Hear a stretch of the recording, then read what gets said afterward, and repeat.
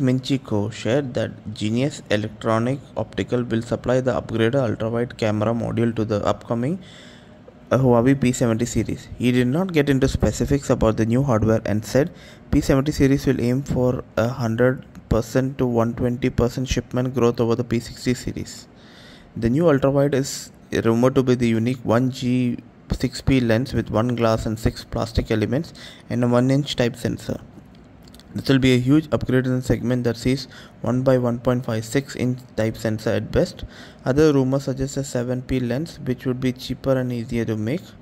Huawei will aim for a big and more key global impact with the P70 series, bringing 5G connectivity and its own sensors to the global market.